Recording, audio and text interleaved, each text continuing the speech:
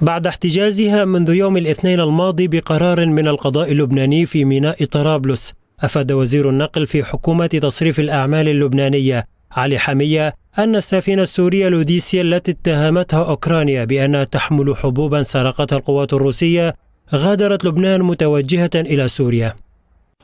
وخلال تصريحات صحفية لوكالة رويترز أكد حمية أن السفينة غادرت لبنان إذ أظهرت بيانات الشحن على موقع مارين ترافيك للخدمات البحرية أن السفينة راسية قبالة الساحل السوري بالقرب من مدينة طرطوس غربي البلاد.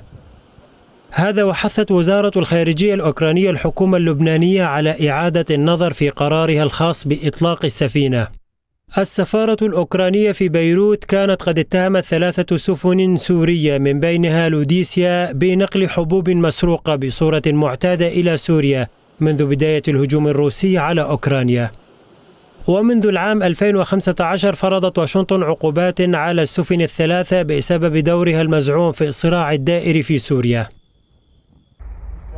يشار إلى أن السفينة السورية لوديسيا رست في ميناء طرابلس اللبناني في السابع والعشرين من يوليو تموز الماضي محملة بحوالي خمسة ألاف طن من الشعير ومثله من دقيق القمح حيث تم احتجازها بعد أن اتهمتها كييف بحمل حبوب مسروقة من المخازن الأوكرانية.